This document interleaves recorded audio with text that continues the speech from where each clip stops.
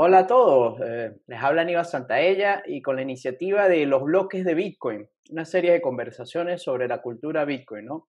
Hoy con un invitado llamado Eduardo, por ahí conocido como Codiox en, las redes, ¿no?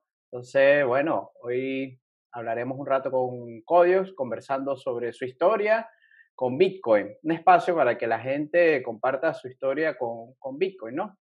Entonces, bueno, Codiox, el micrófono es tuyo. Cuéntanos tu inicio, preséntate para los que no te conocen. Bueno, muchas gracias Aníbal eh, de darme la oportunidad de participar en este, en este nuevo bloque de programas que estás haciendo. Em, bueno, yo me llamo Eduardo, Eduardo Gómez. Eh, en Twitter sí tengo ese el handle de, de Codiox. Em, tengo ya varios años desenvolviéndome en el mundo cripto específicamente en, Bitcoin sobre todo. Eh, soy licenciado en informática por formación, pero la verdad es que me desempeño más en, operaciones, en la parte humana de, de una startup, una empresa llamada Pulse, una empresa en San Francisco que se dedica a la eh, es un marketplace que permite que la gente que tiene Bitcoin pueda comprar productos en Amazon y la gente que tiene gift cards o dinero en Amazon pueda comprar Bitcoin. Entonces estoy desde, hace varios años ya liderando el equipo de soporte técnico en, en Purse. Tenemos un equipo eh, remoto. Eh, este tema del coronavirus puso mucha gente alerta sobre el, sobre la importancia de, poder eh, trabajar remoto, pero la verdad es que tengo mucho tiempo trabajando remoto y, y, es, una, es una bendición, ¿no? Em, pues bueno, eh, nosotros en PURS tenemos un equipo, em, si se quiere, descentralizado por el, el término que están repartidos por el mundo, aunque la mayoría se concentra acá en Argentina, que es donde estoy ahorita. Eh, y bueno, son un equipo de, seis personas que formé y entrené para prestar soporte técnico PURS, son todos venezolanos. Em, y, y, bueno, tenemos, tenemos, bueno, yo en particular ya tengo ya eh, casi cuatro años trabajando, trabajando en esta empresa y, ya por si ya tuve una, una experiencia previa con, previa con el mundo del, de, de, de, las cripto. Eh, mi, digamos que mi, mi camino eh, con, con, Bitcoin comenzó en, o sea, el primer contacto con Bitcoin fue en 2012. Em, en aquel tiempo un Bitcoin costaba 13 dólares, lo cual no era nada.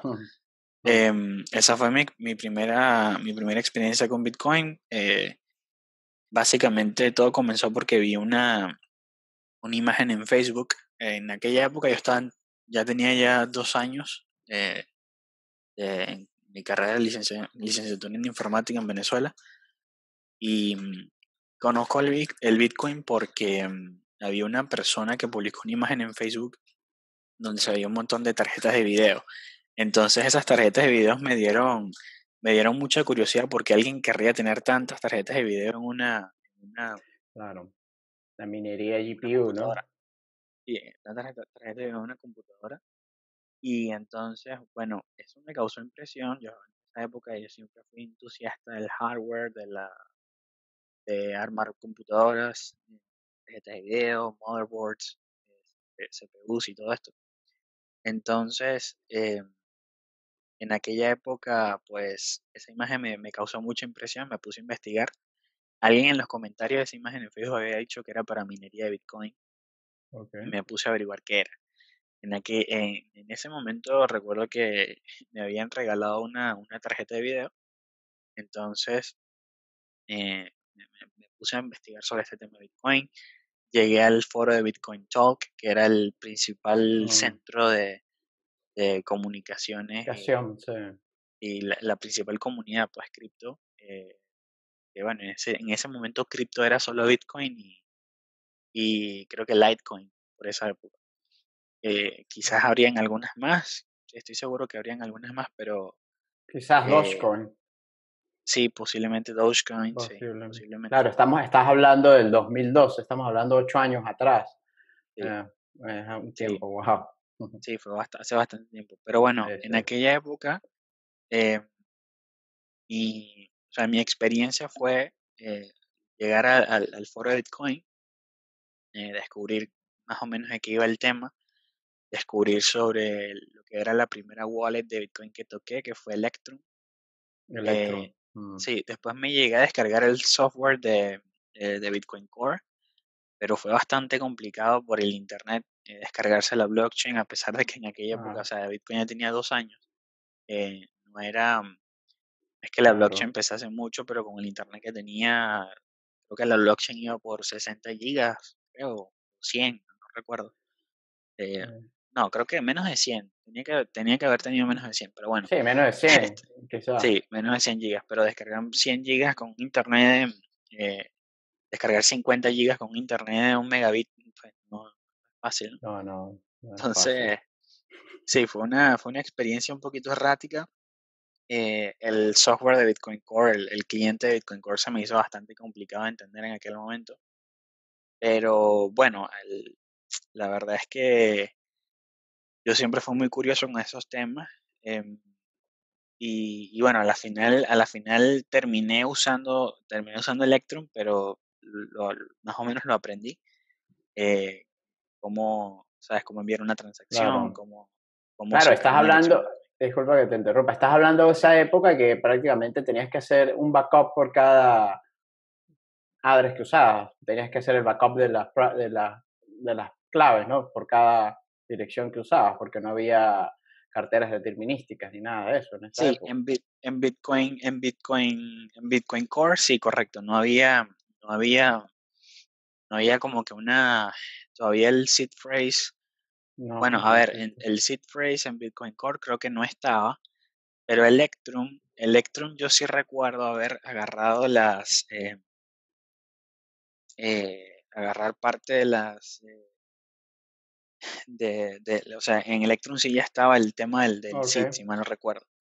Entonces, ¿qué pasa? En aquella época yo averiguo sobre Bitcoin, obviamente no tenía plata para comprar Bitcoin ni, ni había, o sea, había creo que ya está en ese, en ese momento estaba Bitstamp y estaba MTGOX, eh, pero no, a ver, en Venezuela no había ningún exchange, el control de cambio, yo era un muchacho en, la universidad, no estaba trabajando, no, no, pude, digamos que comprar Bitcoin. Lo que sí pude hacer en aquella época, que fue mi, mi, digamos, mi experiencia eh, em, la experiencia más fuerte fue, fue minar con una tarjeta de video.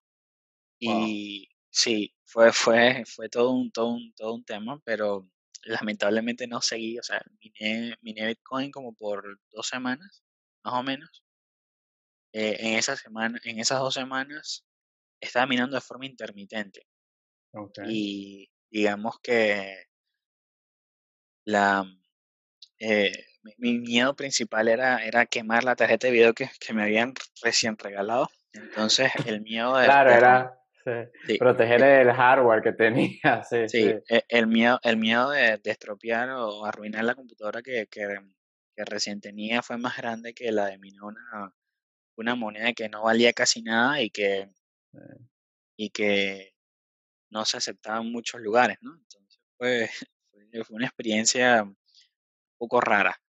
Em, pero bueno, fui, hice parte durante muy, muy poco tiempo en esa comunidad de Bitcoin. Todo, más que nada era leer lo que estaba diciendo la gente, cómo ya estaban haciendo un comercio muy incipiente eh, de, Bitcoin. Entonces, básicamente, yo miné, miné, miné, llegué a minar menos de una unidad de Bitcoin, no llegué al Bitcoin completo. Con, en esas dos semanas, mete su veces seguido minando.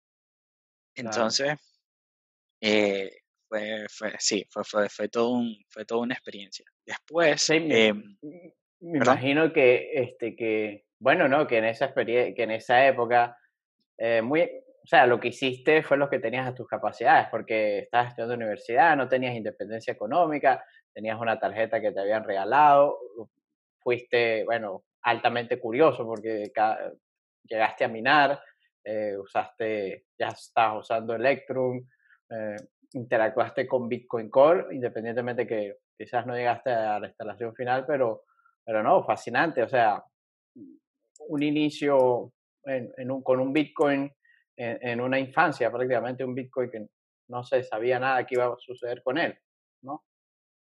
Sí, sí fue, fue bastante, ¿cómo te digo? Fue, eh, fue una experiencia en retrospectiva, obviamente uno siempre habla, piensa sobre la oportunidad perdida, ¿no?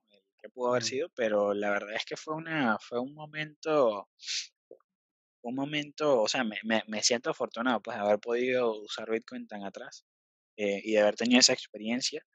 Después de esa, o sea, eh, de empezar a minar y tal, que fue dos semanas nada más, eh, la verdad es que me olvidé por completo del tema, no volví a abrir el software de, Bitcoin Core y no, o sea, no, no continué siendo parte del mundo Bitcoin. lo que sí hice, lo que sí hice, esta otra anécdota curiosa eh, y divertida y una, una, anécdota de lo que no debes hacer. Eh, en, aquel, en aquel momento, como te dije, estaba Electrum, era la principal wallet, eh, era una wallet muy popular porque obviamente te evitaba el, el borroso proceso de tener que descargarte Bitcoin Core, descargar claro. blockchain. Bitcoin Core era un software y todavía lo sigue siendo un programa para el novato, para la persona que se está iniciando en el mundo de Bitcoin, un poquito intimidante, ¿no? Eh, ahorita está un poco mejor, pero en aquella época, créeme, el, cliente era muy feo y, tenía muchos botones, tenía muchas, tenía muchas cosas escalofriantes. Entonces, eh, entonces luego de usar, em, eh, luego de descargarme Electrum y empecé a usar Electrum, ahí fue donde empecé a depositar lo que estaba minando. Agarré y exporté, o sea, la, la llave maestra, la, el seed phrase, la, palabras de recuperación de la wallet, les tomé un capture y los guardé y me, o sea, guardé la imagen y me la envié a mi propio correo electrónico. Entonces, con, y ahí quedaron los bitcoins que, o sea, lo, que había minado, pues. Entonces, porque a la final nunca llegué a gastar eso, esas cripto en 2012. Ese, esos bitcoin, ese bitcoin que, menos el bitcoin que miné, no lo llegué a gastar en 2012. Fue sino hasta 2013, eh, en diciembre de 2013, en aquella época yo estaba haciendo, yo estaba en un viaje y entonces empecé, en este viaje y empecé a leer noticias sobre, sobre temas económicos y me encuentro con que había un titular sobre la criptomoneda Bitcoin que estaba alcanzando máximos históricos en, Ah, estaba alcanzando máximos históricos en su cotización. Entonces, el, mejor eh, el, mejor departamento de mercado de Bitcoin, su precio, ¿no? Sí, sí, sí, sí. Entonces, Correcto. Entonces, bueno, me, meto y descubro que, que, Bitcoin, que cuando yo lo descubrí costaba 12 dólares, estaba en ese momento alcanzando el precio de, eh, alcanzando el precio de 600, 700 dólares. Eh, muy increíble ver ese salto. ¿Qué pensaste tú en ese momento? Porque imagínate, quizás cuando en, un año atrás, o meses atrás, en el 2012, o sea, interactuaste con Bitcoin, minaste, pero la incertidumbre del futuro de Bitcoin era, no se sabía qué iba a pasar con él. Y cuando vuelves, bueno, porque lo, lo lees en los medios, y me imagino, tu impresión, ¿no? O sea, wow, esto como que sí va a tener futuro. Sí, Bueno, la primera impresión fue eh, en dónde habré dejado, en dónde habré dejado la, e, lo que miné. La primera impresión. Luego fue dónde lo vendo. Eh, esos fueron los impulsos iniciales eh, que tuve. Me puse a investigar. Eh, me, me, acordé que tenía unas, tenía en correo electrónico una, un correo que me envié yo mismo con, esta llave, con esto del seed phrase, eh, que desbloqueaba la wallet que usaba. Entonces me descargué Electrum otra vez, la nueva versión. O sea, hice un salto, me, salté varias, varias versiones de todo el tiempo que estuve sin, sin interactuar con el mundo de Bitcoin. Y bueno, o sea, metí las llaves y ahí estaban. Fíjate, que e, eso es vital y vamos a, yo siempre, o sea, en las conversaciones estoy buscando dejarle a la gente cosas que, como píldoras de conocimiento educativo, o sea, lo, indistintamente que el medio de respaldo fue digital y no se debe poner las, las firmas, las claves privadas en ningún, de ninguna forma digital, almacenarlas en ninguna nube, en un correo, no es la forma correcta, pero en esa época pudiste preservar las, las claves y pudiste tener acceso de nuevo a los bitcoins, ¿no? Un tiempo después. Fantástico, pues, de cierta forma. Estaban ahí, estaban enteros. o sea, todo lo que miné estaba ahí perfecto. Entonces fue bastante, fue un momento, eh, es increíble esa, ese sentimiento, eso que sientes cuando metes la llave, eh, el seed phrase, aprietas el botón y ves plata, o sea, que, o sea, obviamente no es dinero físico, pero la emoción de, de, apretar el botón y, ver reflejado lo, lo que, lo, lo, que tenías guardado es una cosa, sí, fue un momento, fue un momento muy, eh, muy emotivo, ¿no? Entonces, bueno, nada, eh, meto la llave, consigo la, el, lo que había minado. Como te dije, el segundo impulso fue dónde lo vendo. Entonces. ahora, ahora otra, o, a, tener que averiguar ahora cómo están los mercados, qué, qué hay de nuevo, qué, dónde lo puedo comercializar, intercambiar. Sí, sí, correcto. En aquella época, como te dije, en 2012, estaba Bitstamp y estaba MTGOX. Eh, recuerdo, estaba el local Bitcoin también. Recuerdo que yo me había creado una cuenta, me había creado una cuenta en local Bitcoin, me había creado una cuenta en Bitstamp. Em, y MTGOX, en, en, MTGOX no, o sea, no lo toqué cuando descubrí Bitcoin, pero sí lo toqué en 2013, diciembre de 2013. Fue el momento en el que decidí abrir una cuenta en MTGOX porque tenían el método de pago que yo necesitaba, que era vender Bitcoin y obtener PayPal. Entonces, eh, porque bueno, era la única forma que se me ocurrió de, digamos, o sea, sacar, el, sacar los bitcoins y obtener otra forma de dinero, ¿no? En este caso dólares, pero eh, y después, bueno, vender PayPals por bolívares era infinitamente más fácil que vender bitcoins por bolívares en 2000, diciembre de 2013.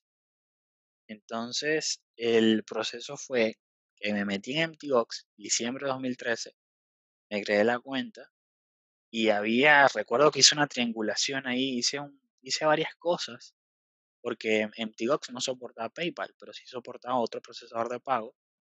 Y luego busqué otro sitio web que aceptara ese procesador de pagos y, tuviese PayPal. Entonces hice, me puse a investigar y logré sacar eh, dólares de MTGOX y, y pasarlos a PayPal con este otro y bueno, me gasté todo eso. todo. bueno, no me quizás, quizás aquí como para hacer un resumen, 2012, primer eh, encuentro con Bitcoin, eh, tuviste la capacidad de, de, poner, de minar algo, aunque sea intermitentemente con una, una tarjeta de video, y bueno, luego después como que te desconectas, bueno, interactuaste con una wallet, tuviste una interacción con Bitcoin Core también, con el software, con la implementación de referencia y, luego eh, te despegas algo, por decirlo, me imagino cosas ya personales y vuelves a 2013 y ahí, bueno, otra vez a, este, rescatas, el, restauras tus llaves privadas en la wallet, eh, vas a los mercados, eh, en PayPal, vendes, gastas y bueno, ya es como una fase inicial, ¿no? Hiciste todo el ciclo porque prácticamente tuviste los, mine, los Bitcoin como es la forma esencial que son creados, ¿no? Minería. Los guardaste y luego los, los gastaste, los convertiste en, en bueno, en, este caso en dinero fiat y bueno, ya los gastaste en consumo de bien, el producto, el servicio. Sí, sí, fue, fue una experiencia bastante enriquecedora. El momento, eh, no recuerdo, o sea, obviamente yo usé un pool de minería en 2012 para minar, pero si mal no recuerdo, los pools estaban creo que naciendo apenas en 2012. Yo llegué en un momento muy afortunado, o sea, llegué, o sea, llegué a un momento en que ya estaba surgiendo una infraestructura de lo que iba a ser el futuro de la minería. Eh, o sea, en esa etapa, en, esa expansión de descentralizar el protocolo, de, o sea, era descentralizar el minado de Bitcoin. Em, fue Slush, creo que fue esta persona. Eh, sí, quizás sí. Desarrolló el, sí, que desarrolló el, el, el sistema de minería, o sea, el pool, el primer pool de minería.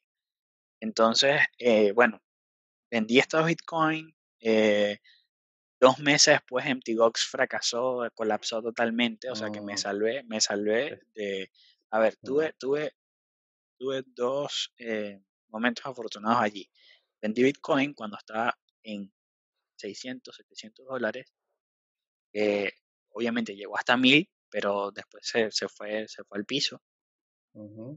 Y el segundo momento afortunado fue que usé MTGOX antes de que colapsara.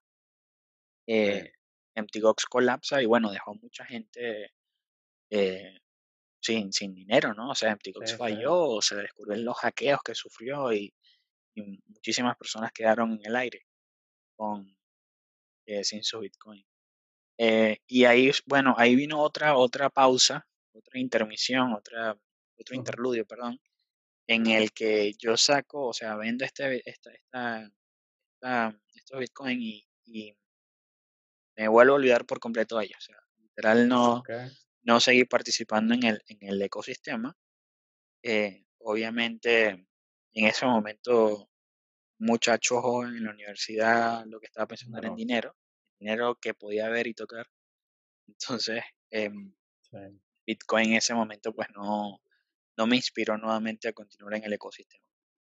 Fue hasta 2015, fue hasta 2015 que mm, me vi en la, o sea, la situación económica en Venezuela estaba muy complicada, la hiperinflación, todo este tema. Bueno, no había hiperinflación en ese momento, pero la inflación sí estaba Sí, alta.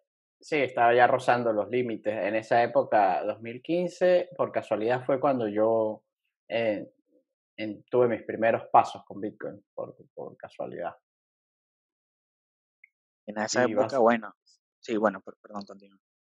sí, no, que básicamente esos fueron mis primeros pasos en esa época, 2015, y también porque lo vi como una oportunidad de, de comenzar a minar y ya yo estaba, tenía trabajo, no estaba, la situación económica estaba ya crítica en Venezuela. Bueno, tiene años críticas, pero ese año, bueno, apretó un poco más la, la situación y yo comencé a minar eh, quizás ahí encuentro coincidencia contigo porque vi una oportunidad, dije, bueno, compro los equipos, este, el- el gasto más consumible diario es energía, que prácticamente es despreciable el costo, y lo vi como una, una opción a que me ayudara a, a nivelar las finanzas, que bueno, gracias a Dios tenía trabajo, pero, pero sentí el golpe fuerte un momento en el 2015 y, y de, por eso comencé a minar, ¿no? Y ahí tú comentas que quizás ya tú estabas en otra etapa de, de tu vida personal y bueno, volviste a tener otra interacción, ¿no? Sí, en esa época, en 2015, estaba, empecé, o sea, empecé, la situación apretó mucho eh, y me puse a investigar formas de generar ingresos por internet. Ok, em, y entonces, bueno, me topé con muchas cosas. Eh, regresé a Bitcoin Talk, el, el foro de Bitcoin. ok, eh, ahí sí empecé a participar activamente en la comunidad, a investigar mucho. Ya había muchísimas altcoins para aquella época. Ya habían surgido, o sea, aparecieron miles, o sea, aparecieron cientos de altcoins, desaparecieron cientos de altcoins, como siempre. em, y, y ya era un ecosistema bastante, bastante maduro, ¿no? A pesar de que, bueno, fue una, eh, fue un año, eh, fue el año, o sea, fue el año eh, si- siguiente al 2014 y el 2014 fue un año brutal para las fue brutal para todo el ecosistema, específicamente Bitcoin, porque explota MTGOX, explota, eh, quizás explotaron otros exchange, no sé si fue, ese fue el año, no sé si fue 2015 o 2014 que Bitstamp también sufrió una, una brecha, la única brecha de seguridad que sufrió Bitstamp, Bitstamp en historia, era otro exchange súper popular. sí, Entonces, eh, la, el ecosistema, o sea, pasó por un año muy, muy duro, pasó por un año terrorífico, de hecho, donde las mm, cotizaciones de los precios se fueron a pique. Eh, entonces, yo me encuentro un ecosistema, un mundo Bitcoin eh, post-apocalíptico, en donde la gente, o sea, quedó mucha gente obviamente impactada y sufrió mucho por las caídas del precio, pero sí había una comunidad que estaba, eh, una comunidad que estaba eh, como te digo, estaba... Creciendo en vos. Sí, estaba, estaba creciendo, estaba creciendo poco a poco. En 2013, que fue cuando te dije que vendí los, eh, vendí los Bitcoin, yo llegué en ese momento, yo vendí Bitcoin y también gasté una parte. Gasté una parte en el foro, del mismo foro de Bitcoin, Bitcoin Talk, con una persona que vendía juegos de Steam. Mm. Entonces, ahí fue mi primer comercio directo con Bitcoin, donde yo le envié Bitcoin a otra persona y obtuve algo a cambio. Wow, eso es eh, magnífico, sí, eso es ya. Sí, entonces, sí. entonces de, vuelta a 2015 estoy buscando trabajo, forma de generar ingresos online. Eh, me topo con varias oportunidades ahí en el foro de Bitcoin Talk. Ahí había una persona que estaba, que una persona que le pagaba a otros en Bitcoin por resolver, resolver captchas. Eh, entonces te pagaban un dólar, un dólar cada mil captchas resueltos. Descargabas un programa, eh, resolvías los captchas y después al final de la semana esta persona te pagaba a ti en Bitcoin.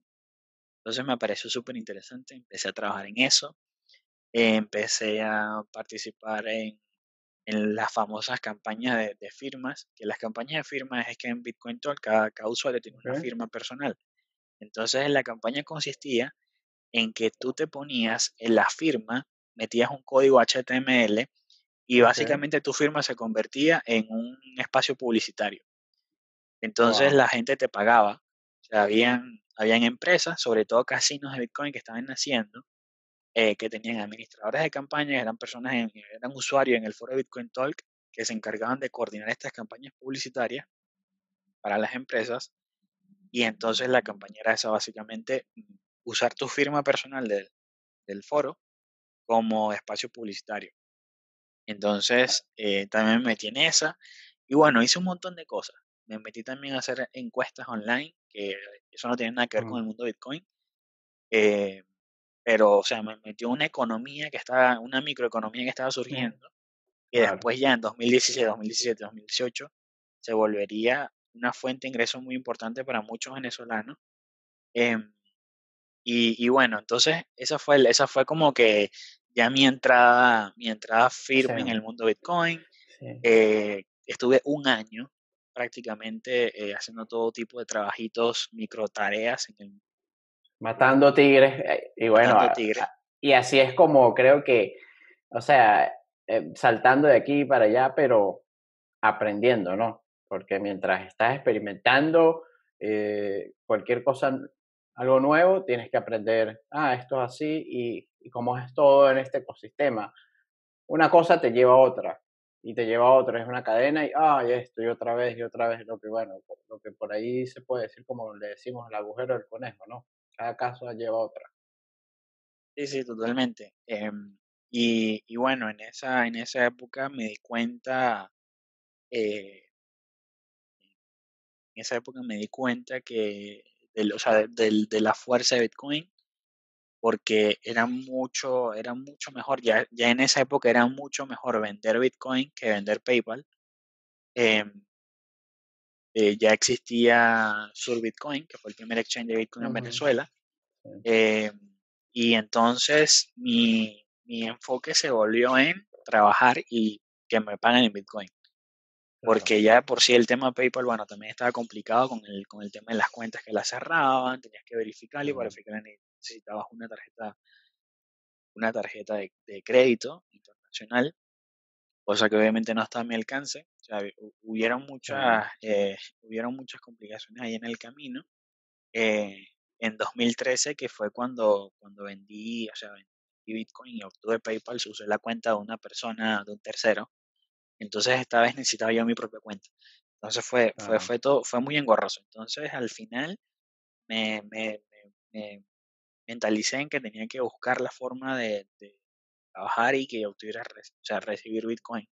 Porque era claro, porque era, era, como la forma más sencilla, bueno, una de las propiedades del protocolo de, de, de, libre acceso, apertura total, ¿no? Que PayPal siempre pues, tienes que cumplir con el Know Your Customer, con la, la verificación del, del usuario, del cliente, y bueno, Bitcoin pues no, no, no, no eh, eso no existe, ¿no? No, sí, no discriminas, abierto, neutral, como sabemos. Otra cosa que quiero resaltar antes que sigamos, Eduardo, interesante lo que dice es que el 2014 el criptoespacio sufrió, pues, fue un año duro para todo, para Bitcoin y las criptomonedas existentes en esa época, y cuando vuelves en el 2015 tu impresión es, wow, esa, el cripto, está el, Bitcoin y las otras cripto, unas pues no existen, otras sí existen, pero Bitcoin sigue aquí hay una comunidad activa, que es lo que, por eso es esto lo que yo estoy tratando de hacer con esta iniciativa de los bloques de Bitcoin, pues eh, es la comunidad, somos nosotros. Hoy hablaba con un amigo de España y yo le, yo le decía, mira, tengo esta iniciativa, quizás te puede, bueno, si te interesa, podemos hacer una conversación. Me dijo, no, pero yo no he hecho nada, yo no soy programador, yo no, no tengo nada bueno que decir, he estado en Bitcoin por tres años. Y yo, bueno, eres parte de la comunidad, ¿no? Y, y es algo característico de, este, de, de Bitcoin más que todo, ¿no? Eh, la resiliencia, ¿no? Eh, es que, bueno, había como un moto, un logo, scaling to fail, o sea, vamos a, se falla y se descubren los errores, se corrigen, obvio, hay, a veces hay consecuencias, efectos, y se construye algo mejor y se va escalando, escalando, escalando y prácticamente es lo que está diciendo Eduardo que sucedió en el 2015 y cuando fue cuando él volvió a, a, tener otro encuentro con Bitcoin y ya hace otra interacción y bueno, ya todos los que escucharon por parte de él que trabaja, consigue varios trabajos online y ya consigue una infraestructura eh, alrededor de las criptomonedas y se prácticamente se mentaliza en en trabajar y ser pagado en Bitcoin, que para muchos, bueno, yo he tenido la oportunidad también de prácticamente tener sueldo en Bitcoin. Y bueno, es una de las cosas que mucha gente busca, la gente que esté involucrada en el criptoespacio, quizás la gente que está fuera de Bitcoin no, pues hay mucha gente que es intermitente, viene, compra, se va, pero la gente que está dentro de la comunidad de Bitcoin, mucha gente desearía ser pagada, le gustaría trabajar en la comunidad y ser pagada en Bitcoin, es una forma de que tú usas el dinero, recibes Bitcoin como medio pago, es la forma más, este, más elegante o más limpia de recibir Bitcoin, aparte de minarlo, pero que lo ganes como fuente de ingreso. Eh, todavía no es fácil, pero es, sí se puede. Y bueno, tenemos aquí a Eduardo con su experiencia de vida que es fantástica porque eh, tiene, tiene años ¿no? de, experiencia en el criptoespacio. 8, 2012, tres, estábamos hablando, tres años tenía Bitcoin, no tenía prácticamente nada, ¿no? Entonces, pues bueno, sigue eh, contándonos, Eduardo. Y bueno, eh, como tú dices, la, 2015, no es que 2015 hubiese sido un año fácil, porque al principio no lo fue. Eh, la cotización del precio también llegó también muy baja. incluso hubo un flash crash. Flash crash es un evento en donde el precio de, de una moneda, de una cotización bursátil, o en este caso de Bitcoin, eh, baja de forma repentina. Eh, en aquella época hubo un flash crash, específicamente en el exchange de Bitfinex, donde el precio, si mal no recuerdo, llegó, llegó a un punto bastante bajo. No sé exactamente cuánto, pero bajó de los 150 dólares que estaba el precio del Bitcoin en aquel momento. Eh, y se un golpe que yo creo que llegó no sé si creo que llevaste a los 12 dólares otra vez. Llegó, llegó un precio muy, muy bajo. Y fue todo producto de, un, literal, todo este flash crash ocurrió en menos de un minuto. Eh, pues fue, fue, otra, otro también, otro evento bastante impactante en ese año. Entonces, eh, ahí comienzo otra, o sea, obviamente yo comencé a hacer todos estos trabajos y hacer todas estas cosas para, para que me pagasen en Bitcoin, pero obviamente también llegó un momento en que, o sea, trabajar haciendo micro tareas o matando tigres, haciendo, resolviendo captchas o cualquier otra cosa de estas micro tareas, eso no es sustentable en el tiempo. Em, y tampoco, tampoco es que es un trabajo muy... Muy ameno, eh, muy agradable, ¿no? Sí, ni agradable ni, dignificante. Entonces, bueno, en aquella época eh, me di cuenta que se me estaba haciendo bastante fácil escribir en inglés, mm. Eh, cosas. En época hice un artículo, recuerdo, había una, había una página web que estaba surgiendo que se llamaba Zapchain, que era, era como una especie de, de comunidad social donde la gente escribía artículos y la gente le podía enviar tips en, Bitcoin, pero también ganabas, una, ganabas Bitcoin en proporción a la cantidad de usuarios que vieron el artículo. Oh, entonces, fantástico. Sí, entonces en aquella época recuerdo que escribí un artículo em, llamado, eh, fue un artículo que hablaba sobre el, específicamente del blockchain, no, no tanto de Bitcoin, pero sí blockchain como una posible herramienta para combatir el, la corrupción en Latinoamérica. Okay. Obviamente era esta mi fase en donde me, di cuenta que, que, yo creo que muchos bitcoiners sufrieron, sufrieron una etapa donde vieron que el tema blockchain era la tecnología realmente importante detrás de Bitcoin. Eh, una etapa que no dura mucho, eh, y bueno, entonces escribí este artículo y recuerdo que alguien citó el artículo para hacer una un post, una noticia en una de estas páginas de una, de estas webs de noticias de Bitcoin. Entonces, esta persona me, me cita en su artículo y me di cuenta que había gente que estaba trabajando, escribiendo, escribiendo y recibiendo pagos en Bitcoin. Entonces yo dije, oye, me gustaría hacer esto. Entonces, bueno, Zapchain no duró mucho porque obviamente la gente encontró formas de, mucha gente encontró formas de trucar la plataforma eh, y falsificar, eh, falsificar tráfico para que le pagase más, eh, le, pagase más, más Bitcoin. Claro, Entonces, con las vistas y las lecturas y eso, de los artículos. Zapchain no duró mucho, Zapchain no duró mucho. Entonces, bueno, me, me, empecé a interesar por este tema del, del blog writing, escritura, empecé a aplicar a varias, varias webs de noticias. que estaban en esa época, eran Cointelegraph, eh, NewsBTC, otra que se llama The Merkle, eh, la otra? Coindex ya existía, obviamente, Coindex, existe, existe desde 2012, eh, pero ahí no apliqué porque era una página muy eh, digamos, ellos estaban buscando perfiles más profesionales, estaban buscando periodistas. Entonces, bueno, aplico para estas páginas de, para escribir. Eh, me aceptaron en, me aceptaron en una y empecé a escribir tiempo completo artículos de noticias del mundo cripto y me pagaban bien. Wow, wow, qué bien, fue, muy, muy, o sea, grande historia, ¿no? así como que. Sí, esa fue la, esa fue la primera vez que me sentí eh, bien remunerado en mi corta vida laboral. Porque, o sea, no, es que era un, es que era un trabajo que diese muchísimo dinero, pero definitivamente era algo mucho más gratificante, dignificante que estar resolviendo eh, captchas. Claro. Eh, resolver, resolver mil captchas por un dólar. Entonces, bueno, ahí me dediqué full time, tiempo completo, a escribir artículos. Una de las cosas que eh, digamos que más agradezco de ese trabajo fue la posibilidad de aprender más del espacio del ecosistema. Eh, entrevisté a personas, em, descubrí, descubrí muchas cosas del, del, espacio, del espacio que ya estaba, bueno, ya estaba creciendo.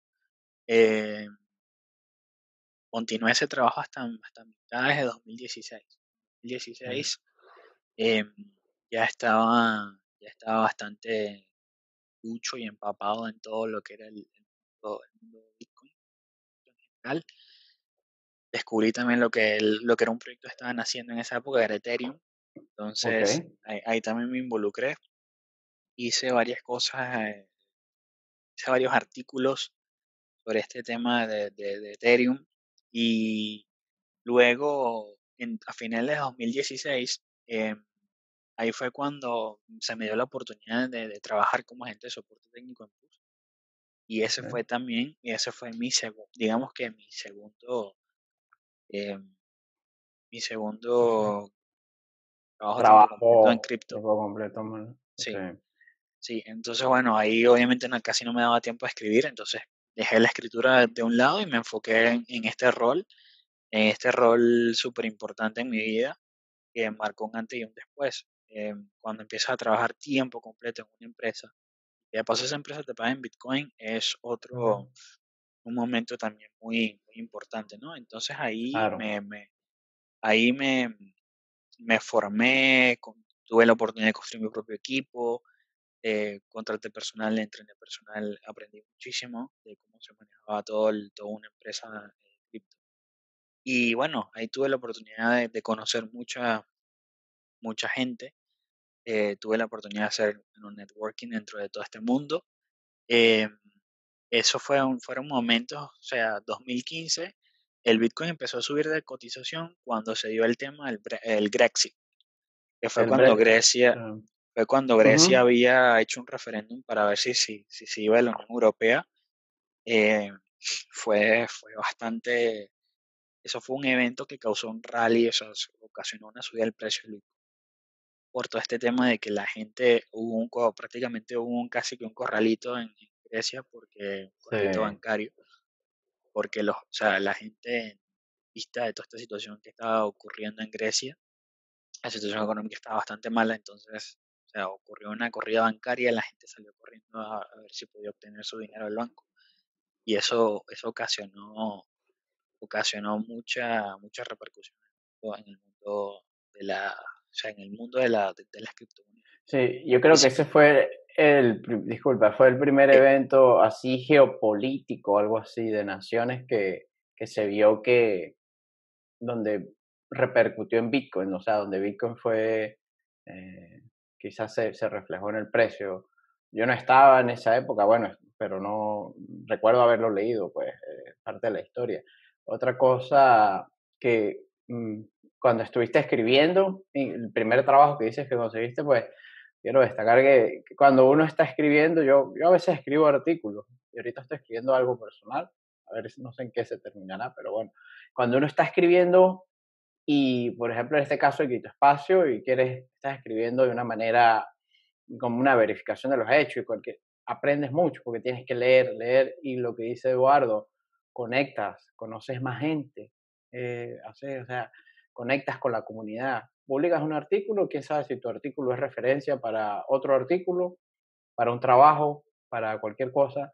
Es, un, es un, una buena forma de, de, de, aprender, que quizás fue una etapa, una, fue una etapa de, de, la vida de Eduardo, y luego antes de llegar a, a PURS, ¿no? Interesante, ¿no? Sí, sí, fue, fue, fue bastante un proceso que duró, bueno, tiempo en el que produje y lleno en, en, el mercado cripto, en Bitcoin. Y bueno, en aquella época ya estaban surgiendo, eh, ya estaban surgiendo, ya, bueno, dura, hubo un tiempo en que la narrativa de que blockchain era más importante que Bitcoin mm. tuvo, tuvo también su, su, su momento en 16, por allí también hubo una, una época donde, donde surgió mucho este tema de, Enterprise Blockchain, que era básicamente... Eh, branding, prácticamente se convirtió en un branding, o sea, tú le ponías algo blockchain y, prácticamente... Salieron mil empresas diciendo que tenían división de blockchain, eh, que, tenían una división de blockchain en, su departamento. Eh, pero bueno, y, hasta el sol de hoy todas esas contradicciones, como que el Banco Santander es un banco que tiene una división de blockchain, es un banco que está usando blockchain supuestamente para enviar dinero entre países, específicamente entre Reino Unido y España, eh, y Europa en general. Pero tú intentas abrirte una cuenta bancaria y el agente bancario te pregunta dónde viene el dinero. Si le dices que viene de Bitcoin, porque vendiste Bitcoin, no te abren la cuenta bancaria. Entonces, este tipo de contradicciones se ven todavía al sol de hoy. Y, y digamos que, que, también hay mucha hipocresía, ¿no? todo ese tema. En 2016, eh, como te dije, estaba surgiendo eh, Ethereum, o sea, la idea de Ethereum surgió en 2014, en 2016 ya se estaban haciendo el, eh, ya se estaban desplegando las diversas testnets, que son las redes de, prueba. Ethereum es un proyecto que me interesó mucho en la época, todavía tengo todavía interés en él. Em, no, o sea, no me si bien sé que Bitcoin es la es eh, la moneda y el proyecto que más me, más me emociona, el que creo que tiene más futuro el que, y el que creo que es, es el más eh, eh, el más resiliente. Sí, es verdad que todavía creo que, que, hay cosas interesantes que están pasando en el mundo de Ethereum. Sí, Em, totalmente. sí, hay, hay cosas, obviamente hay muchas cosas en las que no, em, o Sí, sea, hay que- creo muchas, que cada, o sea, como cada, entre caso en este, en este, en este caso específico, Ethereum y Bitcoin, cada ecosistema, si vemos a Bitcoin como un ecosistema y Ethereum como un ecosistema, cada ecosi- tiene su, como sus aplicaciones específicas. Es muy difícil que todos sean buenos en, como decir que uno es bueno en todo, ¿no? Y más como el, el mundo hoy en día se especifica, se especializa, se especializa mucho, ¿no? Quizás Bitcoin en seguridad es un sistema muy robusto, más robusto, y Ethereum con más funcionalidad como aplicaciones, ¿no? Pareciera que es el camino que se está tomando, ¿no? Yo, yo pienso, o sea, coincido contigo en ese caso, ¿no? sí, o sea, le- en, en el, el tema de Ethereum es que es una comunidad que está, eh, o sea, hay mucho progreso científico, hay mucho progreso eh, tecnológico, pero al mismo tiempo también hay mucha ingenuidad de parte de muchos de los miembros del, del- no solo el, del, del propio equipo de desarrolladores de Ethereum, sino de la comunidad en general. Yo tuve la oportunidad de ir a un DEF CON, que el DEF CON es, una, es la conferencia más grande que se hace en el, en el mundo Ethereum. ok, Es una conferencia que se hace, se suele hacer en un país distinto todos los, todos los años. Y yo tuve la oportunidad de asistir en al, al DEF CON 4, que se hizo en Praga en ok, 2018, y tuve la oportunidad de ir como speaker. Y yo estuve ahí con Alejandro Machado. Alejandro es un- otro venezolano es una persona que está también muy interesada, involucrada en el mundo de, en el mundo de las cripto, específicamente Bitcoin como un medio para mm, luchar contra la, obviamente la, la, la hiperinflación, la censura y todo lo que es el tema mm, económico político en Venezuela. Entonces, eh, bueno, tuvimos la oportunidad de ir a- al DEFCON 4 y hablar sobre, sobre el impacto que están teniendo las criptomonedas, específicamente Bitcoin, en Venezuela. Y ahí yo tuve la oportunidad de conocer a mucha gente que hacía vida en este mundo Ethereum y me encontré con que hay mucha gente con muy buenas intenciones. em, en la comunidad Ethereum suelen predominar personas de origen europeo, em, eh, sobre todo personas de Alemania, España, Francia. ujú, En Alemania es donde está una comunidad Ethereum, pero también Bitcoin muy grande. Y me encontré con que hay gente muy brillante que está trabajando en tecnologías de tecnologías que están muy inmaduras, pero que son muy avanzadas, pero al mismo tiempo me encontré con personas que son un poquito ingenuas en lo que es el punto de vista eh, económico-político. seguridad económico-político, sí. Económico-político, social eh, y de seguridad. Eh, quizás eso, bueno, eso ya es un comentario más político. sí, En sí, Europa, en Europa suelen haber, eh, en Europa suelen haber muchos gobiernos de eh, socialdemócratas, obviamente no todos, ahorita, ahorita en los últimos años ha habido un resurgimiento de la ultraderecha, pero la población, al ser relativamente más eh, bohemia, por así decirlo, sí, eh, son personas que, eh, digamos, me encontré con muchas personas que son muy ingenuas en lo que es el punto de vista de la, de la tecnología y el impacto social que pueden tener. Nosotros le abrimos mucho los ojos a las personas en esa conferencia, en, en esa presentación que hicimos Alejandro y yo. Se nos acercaron muchas personas eh, eh, a preguntarnos cosas sobre lo que estaba ocurriendo en Venezuela y sobre cómo esta tecnología estaba teniendo un impacto. Incluso eh, hubo una persona que, que me gustó mucho que, que, que fue para, o sea, que fue a la presentación nuestra para dar como que un mensaje al resto de la comunidad, que fue Soko Wilcox, el, el, co-creador de, de Zcash. Y solamente por el hecho de asistir a esa presentación le dio un mensaje a los demás de que, oye, estos van a hablar de algo importante. Y fue, fue para mí un gesto muy, un gesto para mí muy, muy importante porque claro, eh, nos dio a conocer entre este grupo de personas que estaban asistiendo al, al DEF CON. DEF CON es una conferencia gigantesca sí, donde fueron, donde fueron miles de personas, donde todos los días habían cosas, todos los días habían presentaciones simultáneas, diferentes eh, lugares donde se hizo la conferencia, se hizo un edificio gigante. Entonces, en esa, eh, en esa presentación, bueno, mucha gente tuvo la oportunidad de conocer lo que estaba pasando en Venezuela y de cómo era Bitcoin, la moneda que, estaba, que se estaba usando, no Ethereum. Entonces, bueno, Quizás, el, este, como, te quiero, quiero agregar algo aquí, Eduardo, como tú dices que esa ingenuidad, de, quizás de la comunidad aquí en estos países, quizás en Europa, la que hace referencia, es porque yo, bueno, yo también soy inmigrante, estoy, yo estoy en el Reino Unido y es, para nosotros los venezolanos es muy distinta las perspectivas porque hemos vivido otras cosas, ¿no?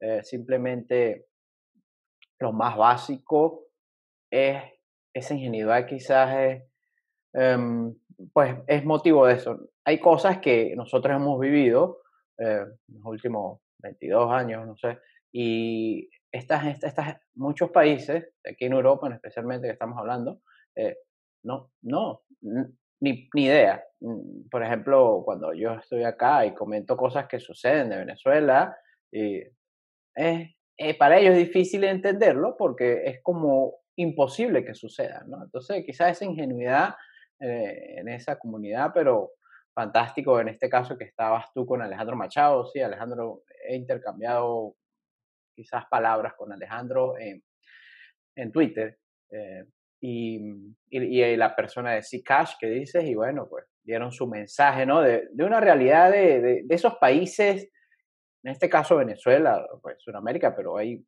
cientos de millones de personas en situaciones similares, distintamente lo, lo que varía es la escala de, de complejidad de la crisis económica o, una crisis monetaria regional, ¿no? Eh, pero sí, eh, hay un poco de ingenuidad porque no sea, no, son cosas que no han vivido, ¿no? Es diferente la percepción que, y, que uno tiene, ¿no? En ese caso, ¿no? Es así. Eh, bueno, en esa conferencia también conocí, conocí mucha gente del espacio de Ethereum, pero que estaban, estaban muy preocupadas también por, el, por lo que es entregar una tecnología que sea capaz de dar más libertad, eh, no solo financiera, sino eh, libertad de movimiento a las personas. Eh, y la, o sea, digamos que el, el, mensaje principal de esa, de esa conferencia fue, vamos a llevar, vamos a llevar el espacio cripto, a, o sea, tratar de solucionar problemas más reales en el espacio cripto, o sea, usando el espacio cripto resolver problemas más reales, entonces, y más cotidianos para las personas. Eh, de ahí surgió también un movimiento muy importante de personas que estaban, eh, que buscaban mejorar la interfaz, las interfaces de usuario de, los proyectos y productos que se utilizan en el espacio de las criptomonedas, precisamente por la barrera tan difícil de entrada que hay a estas tecnologías. Le pones a una persona enfrente eh, programa para que haga un envío de dinero en Bitcoin y, o sea, poquito complicado a veces, ¿no? Incluso los usuarios experimentados de Bitcoin, a mí todavía me da un poquito de escalofríos cuando yo hago una transacción Bitcoin, de asegurarme que puse la dirección bien, porque si no el dinero se pierde. Eso es normal, ¿no? Sí, sí. Sí, porque es que lo que, sucede como que, o sea, Bitcoin y todas las criptomonedas es, es una forma de dinero que nunca habíamos tenido la humanidad, las civilizaciones. Hemos tenido metales preciosos, el trueque, dinero en plástico, las tarjetas de crédito, dinero digital desde hace tiempo, desde que se creó el, dinero FIA en 1971, por allá, el Nixon Shot, eh, pues prácticamente todo el dinero pasó a ser digital, eh, no tiene presencia física, pero, pero es muy, sí, es algo nuevo. Sí, lo que dices es verdad, a veces uno envía una transferencia, yo por lo menos hoy hice, envié como dos transferencias y bueno, ya uno está acostumbrado, pero eso es una, o sea, toda, hay algo. La, el dinero es una tecnología que ha acompañado a las civilizaciones desde la existencia de las civilizaciones. No se ha conocido una civilización tan antigua que no haya tenido dinero. Entonces no se sabe con certeza qué tan antiguo es el dinero. Se sabe que es tan antiguo como las civilizaciones. Cada civilización ha creado nuevas formas de dinero, ¿no? Y, pero cada, cada vez que se crea una nueva forma de dinero, eh, implica nuevo desarrollo de tecnologías, de infraestructura tecnológica, pero hay algo vital para que sea adoptado y, y sea sostenible en el tiempo, esa nueva forma de dinero en la sociedad, es la disrupción mental, es el comportamiento, es como tú, como nosotros, los usuarios, los seres humanos, nos acostumbramos a la herramienta y ya. Ah, sabemos que la transacción de Bitcoin es una dirección, la pego, la copio y para mí es normal como agarrar un billete un bolívar, 10 dólares o 10 libras, intercambiarlo. Eso es, es lo que dice Eduardo prácticamente. O sea, todavía estamos en ese proceso que yo creo que es lo que nos va a tocar por delante, ¿no? El ecosistema indudablemente no para de crecer. Eh, todo el ecosistema de las criptomonedas, Bitcoin y todas las demás monedas, y muchas aparecerán, muchas desaparecerán y eh, hay unas que se permanecerán, pero eso es lo que queda, creo que eh, la parte ya de los usuarios de, y bueno, obvio, con la tecnología, ya las interfaces con los usuarios, la wallet y todo, la aplicación primaria de los usuarios se van a hacer más amigables, ¿no? Lo que dice Eduardo. Sí, mm. y otro punto importante, Aníbal, es el.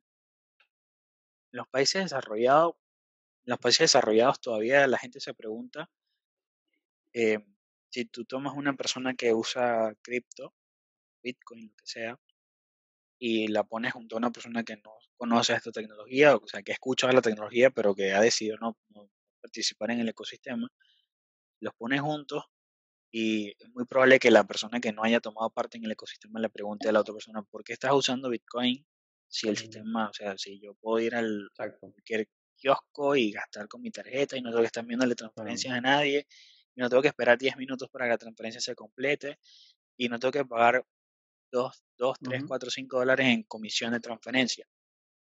Eh, lo, que, lo que esta persona quizás no esté tomando en cuenta Em, es que las personas en países desarrollados no ven la necesidad, o sea, no ven, no ven a Bitcoin como una tecnología que sea útil porque no les ha tocado vivir en un ecosistema, o sea, vivir en, perdón, no, les ha tocado vivir en una situación en la que, en la, que la moneda se devalúa constantemente todos los días, no les ha tocado vivir en una situación en la que el, gobierno les puede eh, censurar su, su pago eh, o que sean víctimas de, cualquier tipo de atropellos que puede pasar a una persona que está en otro país, ¿no? Como Venezuela.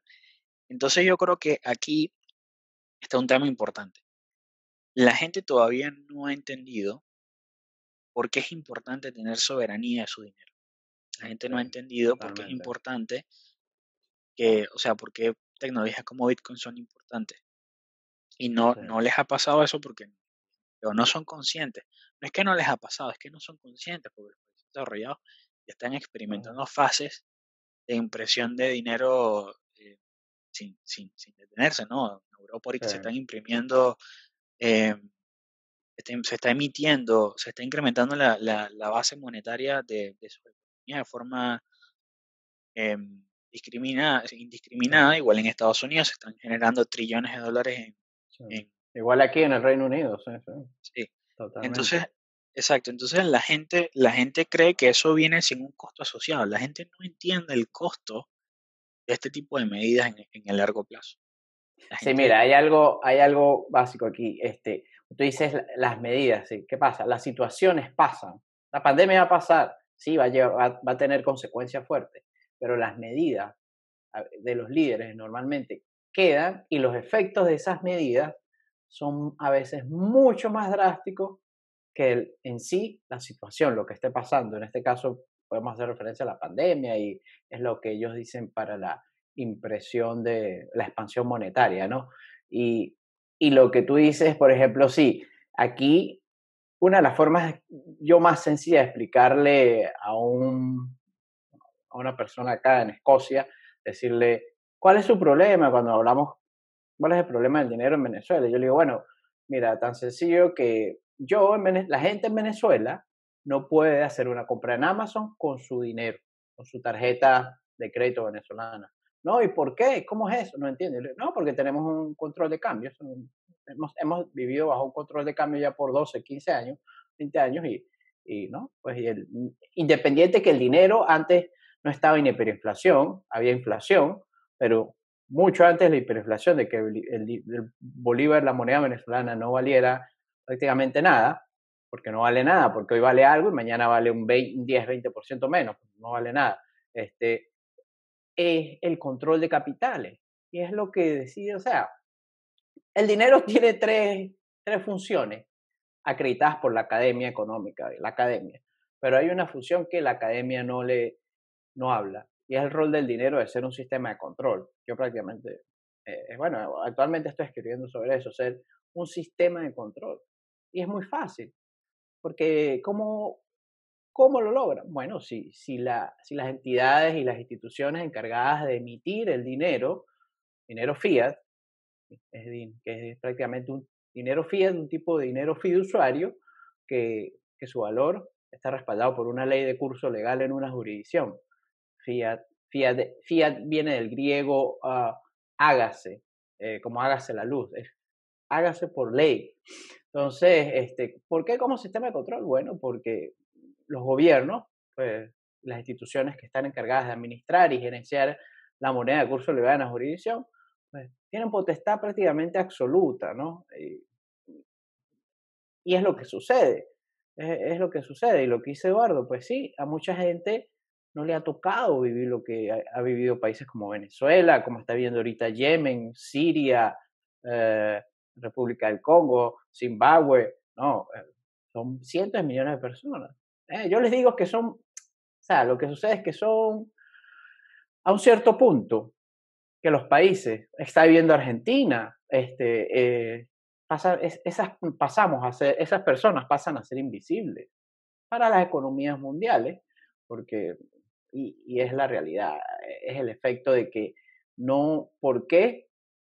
Acá en el Reino Unido, acá en el Reino Unido el sistema bancario funciona bien, entre comillas, a la hora de referirse a las transferencias. O sea, es brillante. Yo puedo enviar dinero en euros a cualquier parte de Europa y mi banco acá no me cobra. Yo puedo enviar dinero a Estados Unidos y mi banco acá, el Reino Unido, no me cobra comisión. La banca más amigable que yo he experimentado es la banca del Reino Unido. Es, fantástico. Yo puedo poner dólares en Estados Unidos en menos de 24 horas desde acá. Es increíble. Es, increíble.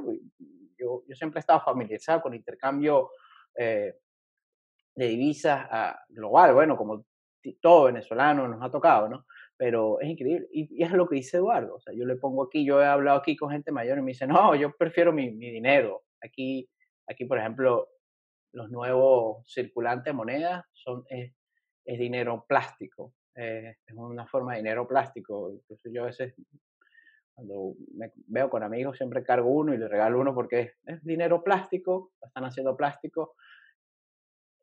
¿Y cómo le dices tú a la gente? Sí, es muy difícil, porque la gente omite la otra parte.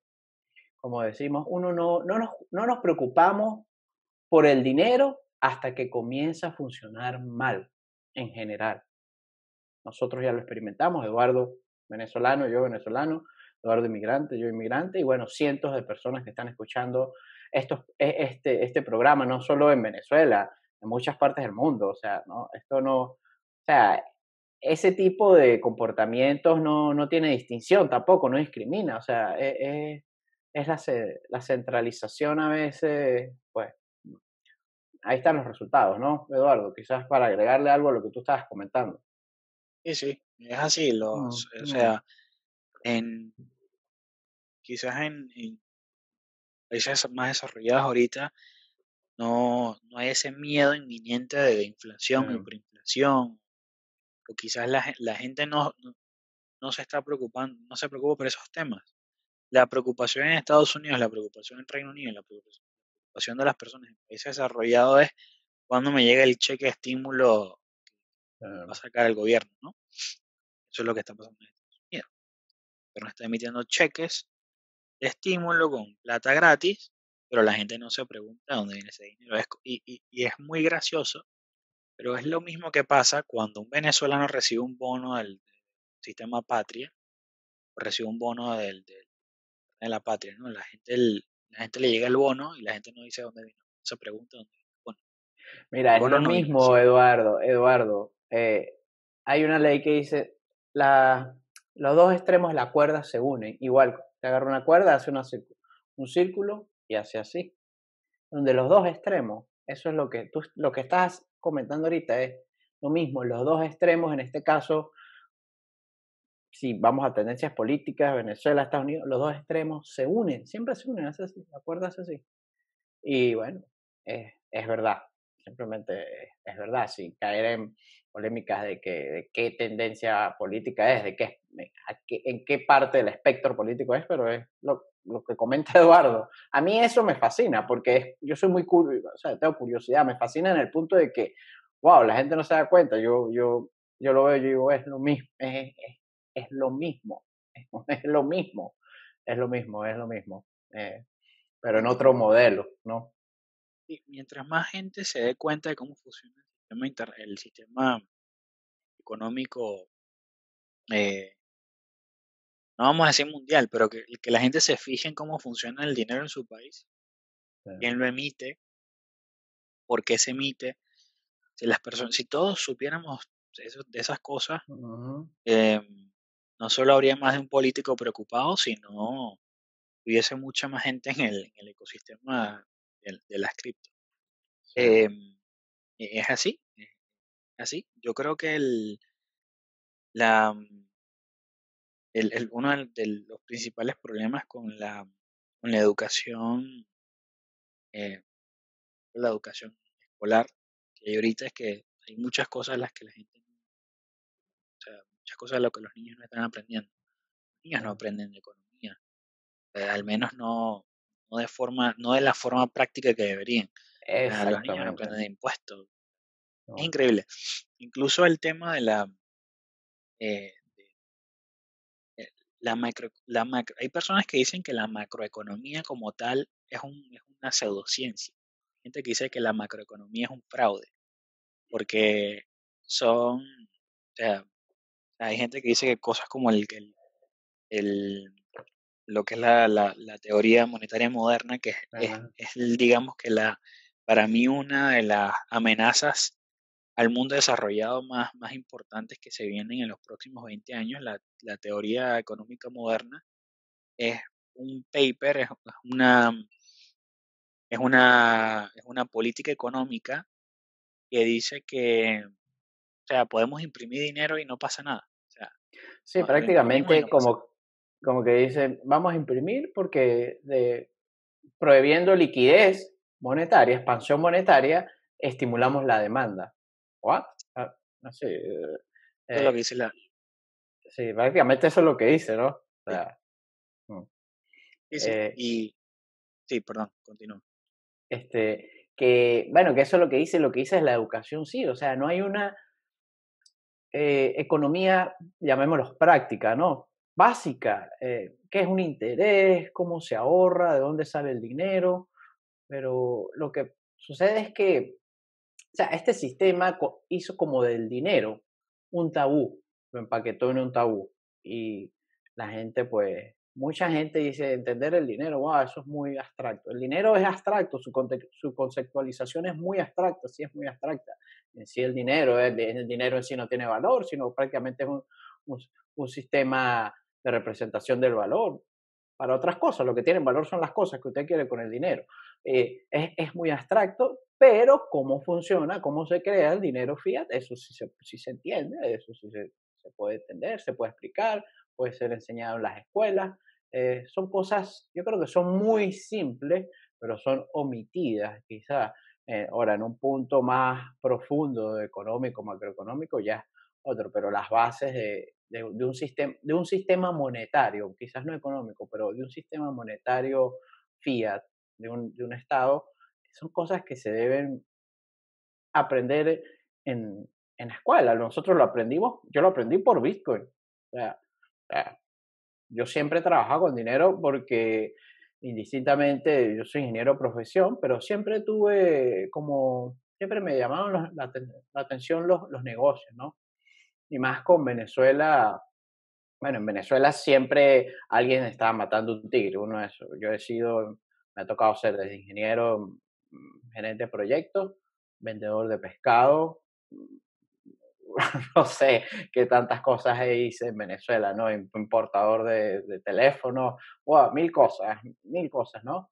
Eh, y muchos años trabajando con dinero y con el tema de, de las regulaciones cambiarias, el control de cambio, pues a uno le incentivaba, bueno, ¿dónde consigo los dólares? ¿Cómo ahorro? ¿Cómo...?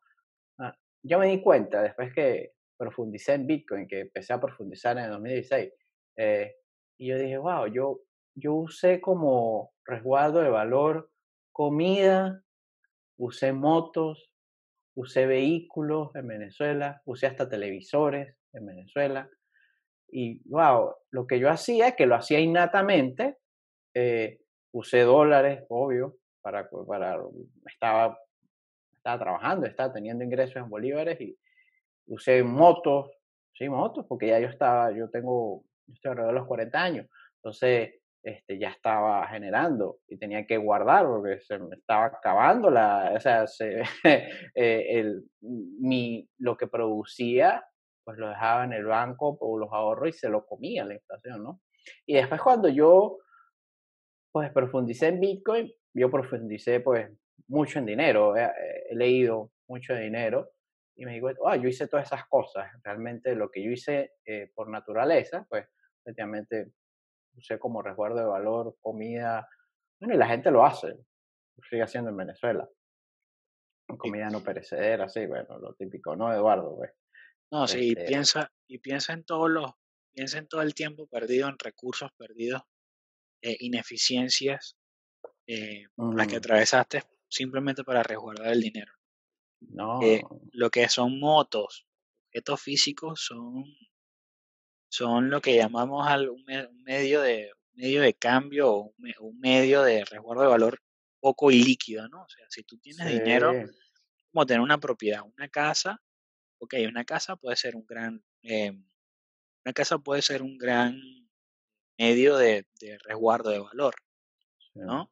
Eh, pero, bueno, hay gente que debate eso, pero puede ser un gran medio de resguardo de valor, pero a la hora del té, a la hora de, cambiar ese, ese inmueble por un dinero, es, es un proceso, un proceso que implica una venta, un proceso que implica comisiones para una, empresa inmobiliaria, o sea, es un proceso que se tarda tiempo, porque vender una casa no es fácil. Sí, es un proceso todo totalmente legal, o sea, tienes que ir a un registro jurídico, o sea, eso creo que le dice eh, salability, no, no tiene buena, no, no es vendible, o sea, no es vendible, no es tradiable, comerciable fácilmente como lo es e, el dinero en sí, ¿no? Eh, eh, prácticamente, sí, lo que menciona, totalmente, pues. No, en definitiva, yo creo que los, los cambios más grandes que se vienen en el espacio cripto en los próximos años eh, bueno, no porque es que el mundo cripto se mueve mucho más rápido que, que, las cosas y un año en cripto, en el ecosistema cripto es muchos años en otras tecnologías, en otras industrias. Yo creo que las cosas más importantes que se vienen, las discusiones más importantes que se vienen en este espacio son, número uno, la fungibilidad y la privacidad. La fungibilidad hace referencia a eh, una moneda debe ser fungible. Y una moneda es fungible cuando un billete, eh, cuando un billete es igual a otro. O sea, cuando un dinero es igual a otro. Por ejemplo, en este momento, yo voy a sacar aquí los billetes que tengo aquí lado. Eh, fungibilidad aquí, billete de 50 y un billete de 50. billete de 50. Billete de 50 y un billete de 50. Son diferentes porque aquí hay dos billetes de 50, pero, pero bueno, son lo mismo, ¿no? yo voy a un kiosco y yo le pago al, eh, a la persona con este billete o con este billete a la persona no le importa, es lo mismo. Pero hoy en día en Bitcoin, un Bitcoin no es igual a otro Bitcoin.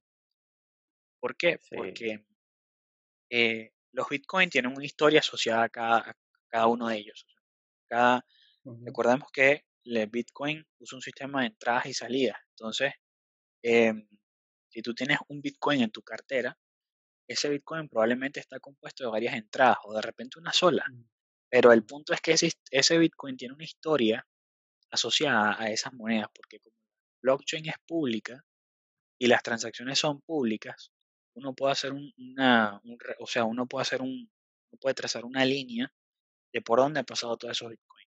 Y en este momento, como hay muchos Bitcoin que se originaron de em, eventos negativos, por así decirlo, como hackeos, eh, como eh, mercados negros donde se vende droga, etc.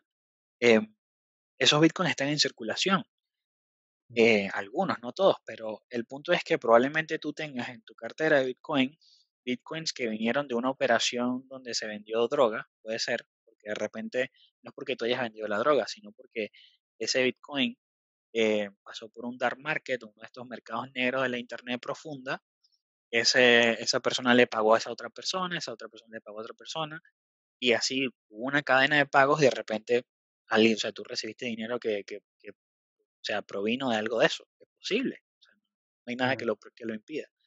Entonces, hoy en día, los exchanges, que son los, son los, los, los, gatekeepers de todo este espacio, son, los exchanges son las personas que, son las empresas que eh, permiten la compraventa de Bitcoin eh, y son los que tienen la mayor parte de la liquidez del mercado. Entonces, ellos, si notan que tu Bitcoin proviene de algo sospechoso, te pueden, te pueden prohibir que uses el exchange. Te pueden prohibir que vendas los Bitcoins, o te pueden prohibir que, hagas alguna operación con esos Bitcoins.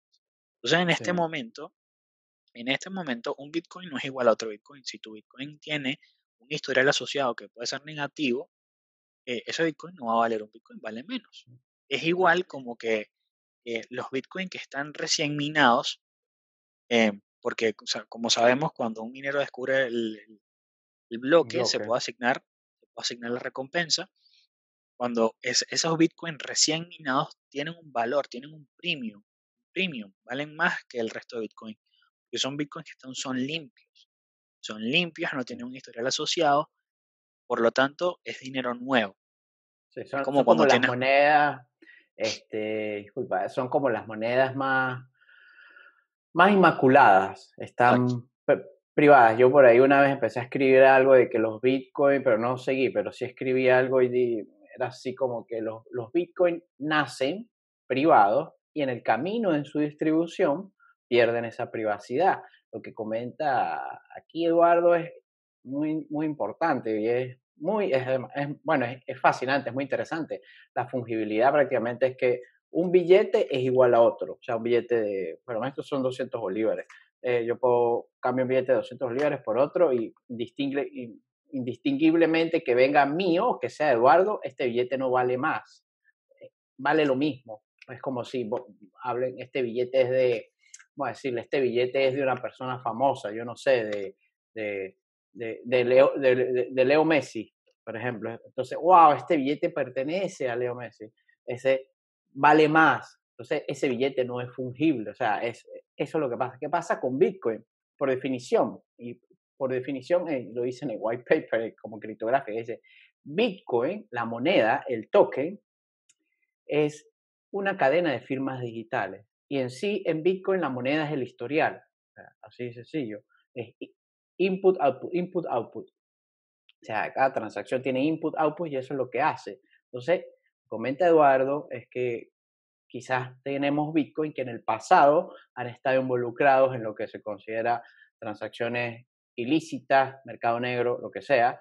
Y bueno, una de las, eh, de las propiedades y las características que hace a, que hace a Bitcoin fascinante, pero también eh, eh, dispara en contra, ¿no? Es que es totalmente abierto. Y la blockchain es abierta, Bitcoin no es cifrado, todo se puede ver. Sí, usted quizás va a una transacción y la ve de raw transactions y usted no entiende nada, pero eso no lo entiende porque es hexadecimal, pero todo se ve, se ve. Eh, eh, Bitcoin es totalmente abierto. Entonces, pero en ese punto dispara por eso porque se puede hacer trazabilidad de las monedas eh, se puede ir atrás en el historial de las monedas y se pueden, lo que se dicen los tinted Bitcoin, ¿no? Se pueden manchar, o sea, se dicen, los pueden manchar, es decir, esos Bitcoin que tiene Aníbal en su wallet, 10 direcciones atrás fueron usados en un ransomware o vienen del dark market o los usó, eh, estuvieron involucrados en, un hacker, en un hacking. ¿Y qué sucede? Que se ha visto que los exchange Recuerden que los exchanges son unos mercados, pero son servicios, son, son unos entes centralizados, una empresa. Usted un exchange le ofrece usted un servicio de intercambio. Si usted va a intercambiar o si va a traer un servicio de apalancamiento, leverage, todo lo que involucra eso, entonces usted está sujeto a la regulación de ese exchange. Lo que se ve es que a veces los exchanges eh, revisan el historial de las monedas y toman medidas contra los usuarios, lo que está diciendo Eduardo, lo que mm, para agregarle lo que dice aquí. Sí, Eduardo, muy interesante lo que hablas, fascinante esto realmente. Sí, es todo un tema, es todo un mundo que ahorita está, cada vez hay más, personas desarrollando eh, productos y servicios y programas para, dar, porque no hay una solución tampoco, eh, digamos, 100% factible a este problema. Eh, ahorita tenemos wallets como Wasabi eh, o Samurai que te permiten hacer una mezcla, que es mezclar tus Bitcoin con los Bitcoin de otras personas de una forma transparente y segura. Ese era el otro tema, o sea, mezcladores de Bitcoin siempre han existido, ¿no? Que es mm. un servicio que tú depositas tu Bitcoin y esos bitcoins se mezclan con las otras personas en diversas rondas de, mezclado. Obviamente, mientras más personas participen en estas rondas de mezclado, más anónimas se vuelven las monedas. El problema de este sistema, eh, hasta hace poco, es que eh, se tenía que hacer, o sea, se tenía que confiar en, una persona. en, un coordinador, ¿no? coordinador tenía que eh, confiar en una página web o en un servicio que era el que recibía las monedas y muchísimos mezcladores de Bitcoin eh, son estafas dirigidas a incautos que depositan Bitcoin. El, operador se queda con el dinero.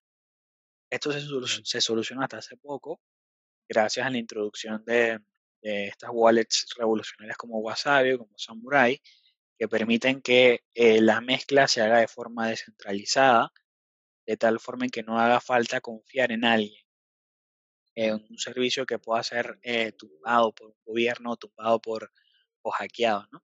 Entonces, esto fue para mí un avance muy importante, todavía hay muchas cosas por hacer, eh, hay incluso debates, hay gente que se, que se pregunta, bueno, de Bitcoin debería ser anónimo por defecto, porque si no una moneda no es anónima por defecto, sabemos que es un poco más vulnerable, eh, sabemos que no es anónima por entonces hay un debate muy interesante sobre este aspecto.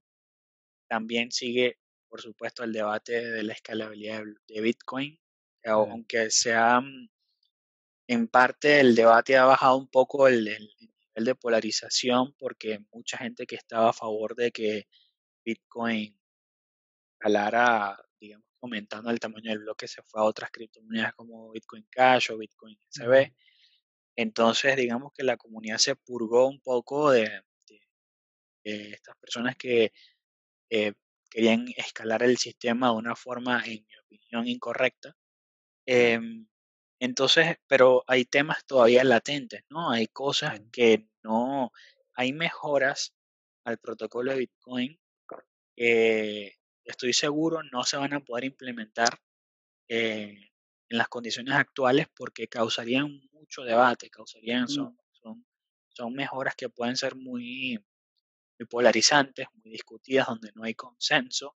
Y el problema, el problema, bueno, eso no es un problema porque si, si te pones a ver, quizás es una fortaleza.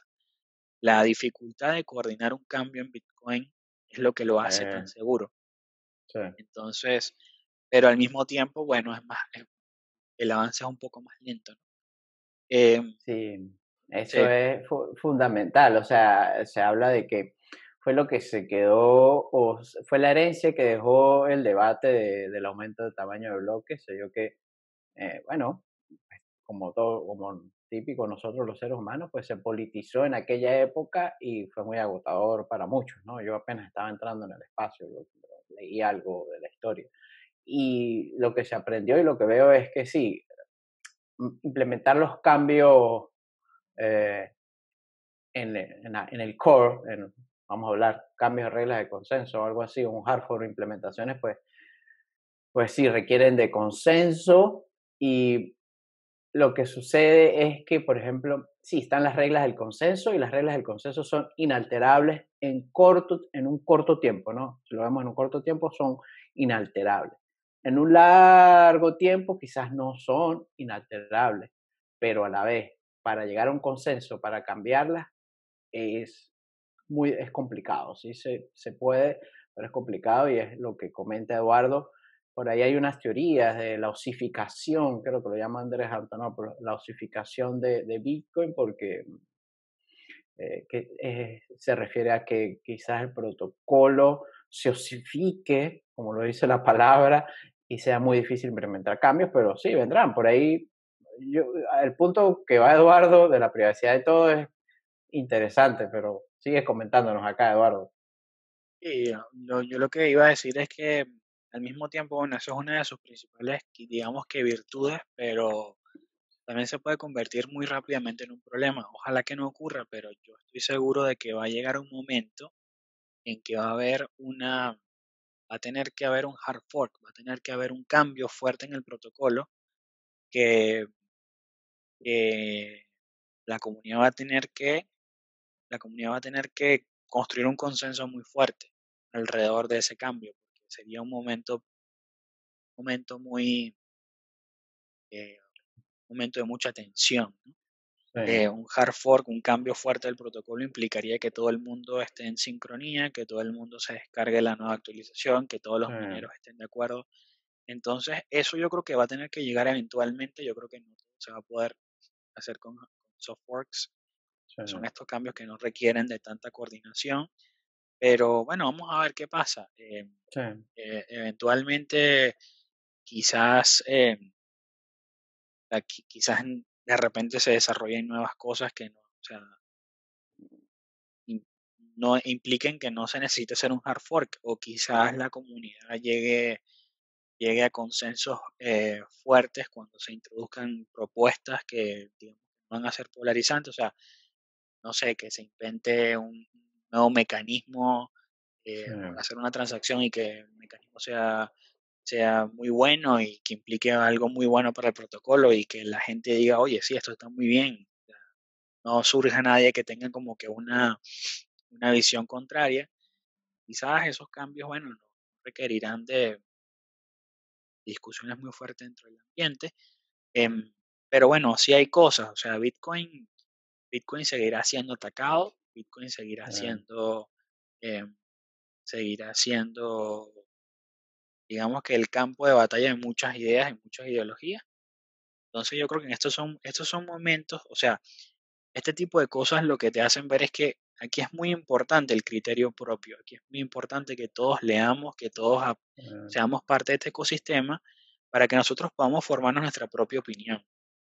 Yo, eh, yo era de los que creía que, que Bitcoin tenía que escalar aumentando el tamaño del bloque en su momento, pero después de leer y después de, de de aprender mucho sobre cómo funciona Bitcoin, me di cuenta que subir el tamaño del bloque era una solución estúpida porque, eh, o sea, el bloque, si tú subes, duplicas el tamaño del bloque, eventualmente eh, va a requerir que lo vuelvas a hacer y lo vuelvas a hacer y lo vuelvas a hacer. Es como un problema muy común que hay en, en el diseño de carreteras, de que uno pensaría, ay, si agrandamos la carretera va a permitir más tráfico, pero la, la, las investigaciones, eh, las investigaciones científicas rigurosas estos, del tema de ingeniería de, carreteras muestra que aumentar el tamaño de carriles de una carretera no incrementa la capacidad porque estás incentivando a que la gente use más esa carretera.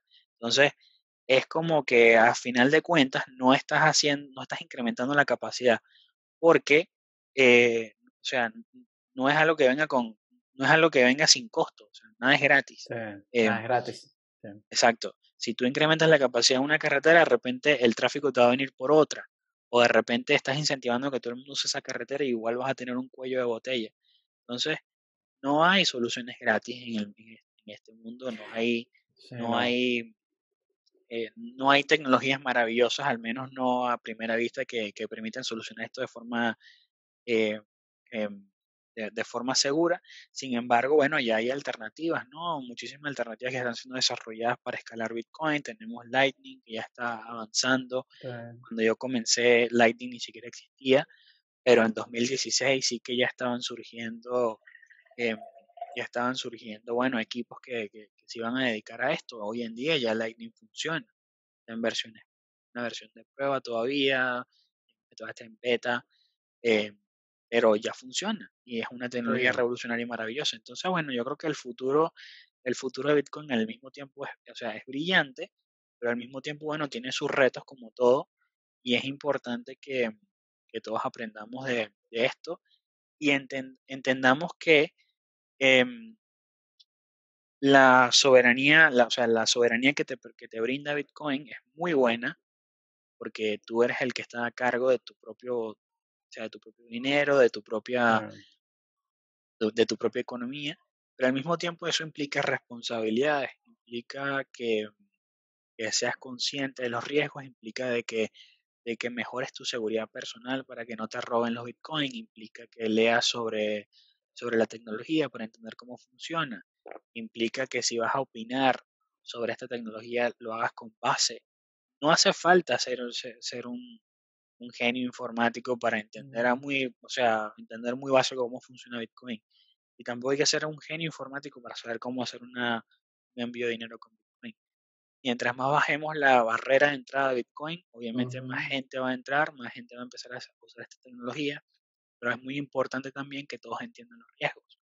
Si a ti te hackean y te roban los Bitcoins, no tienes a dónde ir a reclamar, más que ir a la policía quizás y poner una denuncia, porque después cuando presentes la declaración de impuestos no te, no te cobre, no, tengas que pagar impuestos por esos Bitcoins. Eh, o de repente, o sea, la mera formalidad de presentar una denuncia policial no te va, no, no te van a devolver los bitcoins. No hay, nadie que, que, esté, que esté detrás de, la emisión de los bitcoins. Entonces, no es lo mismo, por supuesto, si te roban la, el dinero de la cuenta bancaria. Obviamente los países tienen, tienen sistemas de protección. Si, por ejemplo, en Europa, eh, todos los bancos tienen una política de protección de depósitos, igual como en Venezuela existía el FOGADE, que era un, un organismo gubernamental que te protegía en caso de que el banco se volviese insolvente, te iban a pagar hasta cierto punto.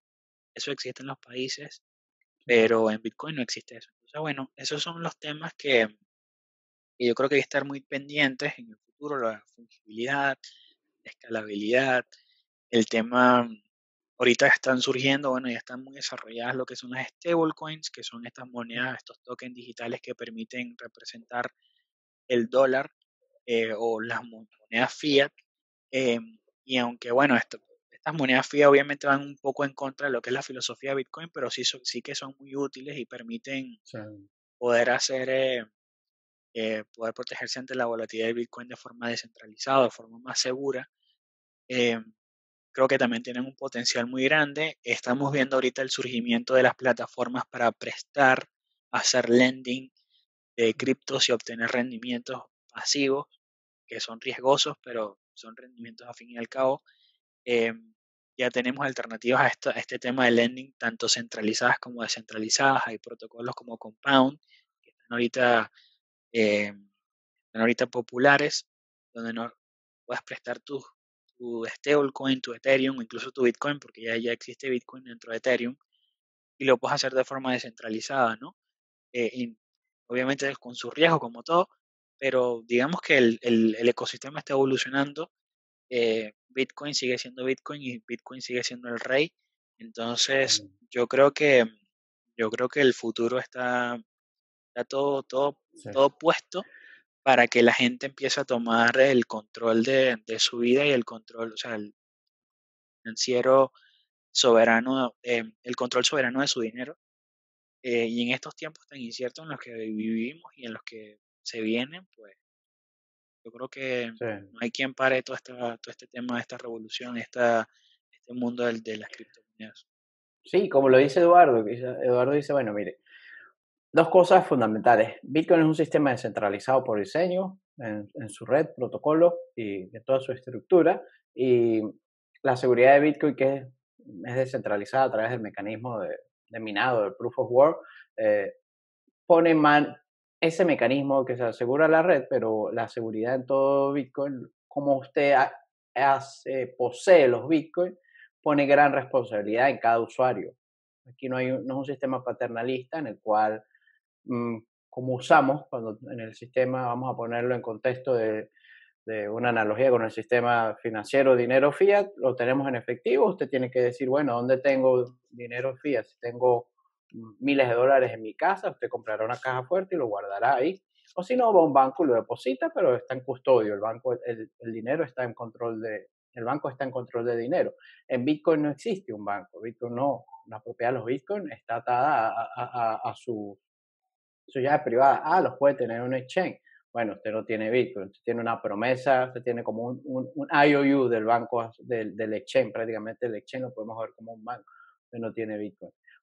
Eh, un, un, un, exchange o un, intercambiador, un, broker es, un ente este, privado, ¿no? Y, y sí, informarse, prácticamente pone mucha responsabilidad en los usuarios, pero usted, una vez que uno experimenta Bitcoin y decide ser partícipe de Bitcoin, pues va a tener que leer un poco y una cosa lo va llevando a otro, quizás como Eduardo en el pasado lo trajo, lo fue llevando, lo fue llevando eh, por ese lado, ¿no? Eh, el, el, ecosistema no para de crecer, como dijo Eduardo aquí, sí, un, un año en Bitcoin pueden ser 20 años en el sistema financiero tradicional o en cualquier otro eh, aspecto, ¿no? Increíble cómo las cosas evolucionan las stablecoin, que son como, eh, son unos instrumentos que, mm, vamos a decirlo, eh, eh, bajan la fricción, son como pasarelas de entrada y a la vez para protegerse de la volatilidad de Bitcoin y usted en vez de ir, lo que se hacía antes, usted buscaba cambiar de Bitcoin a dólares para protegerse de la volatilidad, si usted tenía, quería e, evitar perder valor en términos de moneda eh, de curso legal. Ahora puede ir a un fiat, a un, un stable coin. Tiene una variabilidad, pero eh, son stable, son estables, en pocas palabras, como su palabra lo dice, stable coin, moneda estable. Y bueno, las otras cosas que el compound, los intereses. Es un ecosistema que está creciendo, creciendo y en cierta forma creo que el camino que se ve es quizás tener servicios financieros todos descentralizados en base en tecnologías de criptomonedas, ¿no? Indistintamente Bitcoin, bueno, por ahí ya hay algo, DeFi es algo de eso, y en este caso Bitcoin también, no es Lightning Network, pero está Liquid, ya, ya en Liquid, eh, que es una sidechain, también hay posibilidad de hacer tokens, como ICO, pero en otra forma, eh, y también está Rootstock, que son los contratos inteligentes de Bitcoin, y como dice Eduardo, no para de crecer, es increíble lo rápido que se desarrolla este ecosistema y lo resiliente que se hace con cada ataque, ¿no, Eduardo? Sí, es así, es así. Yo creo que obviamente ahí siguen habiendo muchas eh, muchos avances, eh, o sea, siguen habiendo muchos avances que digamos que prueban que no son útiles, pero sí es verdad que hay unos pocos como los que estamos viendo ahorita están haciendo un impacto, ¿no? Hay muchos proyectos dentro del ecosistema cripto en general que han fallado por falta ya sea de financiación o porque no presentaron nada, nada útil. Eh, así como están todo este montón de ICOs o proyectos que se crearon alrededor de Ethereum y resultaron ser tremendos fraudes. Eh, aproximadamente el 80, el 80-90% de las ICOs o proyectos donde se recaudó dinero resultaron ser estafas a día de hoy. Mm. Eh, son muy pocos los que, obtuvieron alguna rentabilidad y muy pocos los que están desarrollando tecnologías que, de verdad son útiles o que de verdad implican algo, ¿no? Eh, dentro del espacio Bitcoin, obviamente no hay, no, no suelen haber ese tipo de proyectos, eh, pero sí que, bueno, han surgido algunos que, que han que digamos que han obtenido cuota de mercado, como pueden ser este tema del lending que estoy hablando, hay varias empresas que han surgido que permiten hacer este tema de prestar dinero y obtener cripto y obtener rentabilidad. Y así como eso, bueno, han surgido miles de empresas ¿no? que están buscando eh, modelos de negocios de, Bitcoin. Sobre lo que yo trabajo es una empresa que su modelo de negocios basa en Bitcoin. Entonces el, ecosistema sigue creciendo. Obviamente con toda esta crisis económica, pues hoy muchas empresas han tenido que cerrar, muchas empresas han tenido gente y el espacio cripto no ha sido la excepción. Eh, entonces, bueno, yo creo que yo creo que como todo vienen retos, pero, pero bueno, el ecosistema sigue creciendo. El ecosistema sigue creciendo y, y es importante que nosotros como venezolanos nos demos cuenta de que, de que el mundo ya no es tan cerrado como era antes, ahorita hay oportunidades de, usar estas tecnologías para, para, para brindar, eh, para brindar prosperidad. Yo recientemente trabajé, estuve trabajando hasta, hasta hace un mes con una startup, una empresa en Colombia, que está usando Bitcoin eh, para permitir el envío de remesas entre de Colombia a Venezuela. El usuario final es una aplicación móvil que se llama Value. Eh, y es una, es una aplicación móvil que permite hacer el envío de remesas. La persona en Colombia va y paga en un punto físico ahí en Colombia, en. Y la persona no sabe que esa aplicación utiliza Bitcoin. pero la empresa utiliza Bitcoin. El fondo detrás. El fondo, claro. Es, e, el activo subyacente es, Bitcoin, donde hacen toda la, el settlement, pues, el asentamiento del intercambio, ¿no? Exactamente. Entonces la persona paga en pesos colombianos, esa value compra Bitcoin con esos pesos y ese Bitcoin pues lo vende una contraparte que deposita los bolívares en Venezuela. Eh, actualmente ellos están trabajando en una, stablecoin, decirlo, dólar digital, cuyo propósito es que la gente en Colombia pueda ahorrar en dólares y la gente en Venezuela también pueda ahorrar en dólares y vender esos dólares por bolívares como quiera. Y la empresa utiliza, está usando derivados de Bitcoin para, o sea, está usando Bitcoin para, para respaldar ese dólar digital. gracias al crecimiento. Sí, gracias al crecimiento de estas, todas estas plataformas de, de estos exchange y esta, los derivados que ahorita también están súper populares, la empresa es capaz de tomar esos bitcoins, eh, perdón, es capaz de, de, usar esos, esos pesos colombianos que la gente está pagando para convertirlos en, documentos, usando todo una ingeniería financiera y terminar usando Bitcoin para poder respaldar ese dinero. Entonces, eso... Eso, es fascinante, realmente es fascinante eso, ¿no? Todo un tema, es todo un tema y, y está, está, está permitiendo, Bitcoin está permitiendo que la gente pueda enviar eh, dinero, dinero a casa, ¿no? También hay gente que, bueno, que tiene negocios que funcionan en Venezuela y, y serán unos pocos, pero estoy seguro que hay cosas que dan dinero en Venezuela y la gente puede utilizar Bitcoin para sacar ese dinero. Entonces, y plataformas como Local Bitcoin, que es la plataforma número uno ahorita en cambio de Bitcoin en, Venezuela y casi que en toda Latinoamérica, eh, estas plataformas están permitiendo que la gente cambie, comercio con Bitcoin y, va a sacar dinero dentro y fuera del país de forma más segura eh, y de forma transparente, ¿no? Eh, digamos que saltándose el control de entonces, bueno, eh, yo creo que esta tecnología definitivamente tiene impacto social, tiene, es útil desde todo punto de vista. Y, y, bueno, es importante que, que, sigamos aprendiendo y sigamos siendo parte de esta comunidad que, que, es muy importante. No solo para, para, el mundo no desarrollado, sino también para países desarrollados.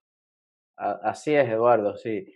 Yo creo que yo como, yo soy de profesión, soy ingeniero y siempre he visto a, Bitcoin como una herramienta de ingeniería social, ¿no? Es una herramienta para tener una mejor ingeniería social, en este caso económica, de estructura, en este caso estructura, pues se habla mucho, bueno, la blockchain es, estructura de datos, en cierta forma, ya hay que ponerle la parte de, seguridad y todo lo demás, pero para tener mejores relaciones, ¿no? Como lo dice Eduardo, pues fascinante. Yo creo que podíamos estar hablando aquí no sé cuántas horas más, pero bueno, no sé si quieres agregar algo para ir cerrando la, el, el, la conversación, el meeting este, pues, ¿no? Yo fascinante con, con tu conversación, realmente muy fructífera porque has sido contando tu historia, pero muy educativa, muy informativa. Hemos hablado de muchas cosas, podríamos quedarnos aquí hablando un par de horas más, pero bueno, si quieres agregar algo, decir algo y le damos un cierre a, la sesión. Bueno, primero que nada, muchas gracias de nuevo, Aníbal, por haberme invitado y espero que tengas mucho éxito con este, este ciclo de, entrevistas. Eh, agradecerte por darme la oportunidad de, participar acá y, y bueno, eh, pues nada, yo creo que es importante decirle a todo el mundo, ser transparente y ser honesto, de que esto no es una tecnología, eh, esto no es un esto no es un mundo en el cual hacerse rico rápido. Mucha gente viene a este espacio con esa intención. Hay mucha gente que a mí me dice desde hace años, oye, ¿cómo, oye, cómo, cómo gano dinero con Bitcoin o cómo empiezo en el mundo Bitcoin? Yo les digo, Bitcoin no es, una, no es un instrumento de inversión. O sea, les digo, Bitcoin es una moneda, es como cualquier otra cosa. No es que haya algo secreto que yo pueda hacer para que tú ganes dinero con eh, y la gente normalmente se, se, la gente normalmente se, no es que se ofende, sino que pierde el entusiasmo muy rápido. Y, entonces yo he dado charlas de Bitcoin, yo di una charla de Bitcoin en mi universidad y hubo mucho interés, pero fueron muy pocas las personas que, que, de verdad, bueno, siguieron y formaron parte de, la comunidad Bitcoin. Yo creo que de las ciento, las 100 personas que fueron a esa, charla, solo de 5 terminaron lucrándose en el, espacio cripto. Entonces, esto no es un mecanismo de hacerse de millonario. Simplemente es un proyecto, una tecnología que permite que tú puedas de forma descentralizada tener valor almacenado en un lugar. Caso puede ser tu mente, puede ser un teléfono, puede ser una llave, una hardware wallet y, y que tu dinero esté, bueno, no esté en manos de nadie, esté en manos tuyas y por lo tanto hay que tener mucha responsabilidad y, y, aprender que la soberanía, la soberanía económica, la soberanía eh, que te brinda Bitcoin viene con sus responsabilidades. Entonces, bueno, yo invito a todo el mundo a que, a que se inicie en este en la tecnología, en esta industria. Eh, me pueden seguir en Twitter, arroba Codiox, los directos están libres, así que bueno, cualquier cosa, estamos a, la orden y, bueno, Aníbal, muchas gracias de nuevo. No, bueno, no, gracias a ti, Eduardo. Como dijo Eduardo, bueno, esto no es un esquema de volverse rico, realmente quizás un esquema de tener acceso y libertades y tener una oportunidad de una forma de acceder a una forma de dinero alternativo que no, no tiene restricciones en cuanto a, por ejemplo, hay algo que es vital, cuando uno es inmigrante, no tiene restricciones de límites geográficos, es transnacional, sin fronteras. En Bitcoin no existen las fronteras. Bitcoin hace con el dinero como lo que hizo lo que, como lo que hizo el Internet con las relaciones humanas, la separó de cualquier contexto geográfico. Usted puede transferir dinero a, través de Bitcoin, transferir y comunicar valor en Bitcoin, casi prácticamente sin, de una forma sin resistencia a una censura y es prácticamente transnacional. Y bueno, seguir aprendiendo eh, los que se involucren. Y bueno, bienvenidos a todos. Gracias por acá. Gracias a Eduardo por la oportunidad, por haber estado aquí. Eh, quizás en un futuro lo vemos estar. Esta iniciativa llamada Los Bloques de Bitcoin es prácticamente un espacio para darle voz a todos los que sean involucrados con Bitcoin. Y nos contemos la experiencia, el, cómo, cómo ha sido nuestra historia con Bitcoin y compartamos, que quizás otros nos van a escuchar, no hay que ser un, como dijo Eduardo, quizás no hay que ser un ingeniero informático, en este caso para, para estar aquí, bueno, que en el podcast o el video, simplemente haber estado involucrado con Bitcoin y compartir la experiencia que para otros puede ser punto de referencia. Eh, en, la descripción del video pondré los, los, datos de Eduardo, donde los pueden alcanzar, eh, contactar ahí en Twitter si, si, si desean. Y bueno, sin más que decir, voy a cerrar la sesión y bueno, nos vemos en una nueva conversación. Saludos.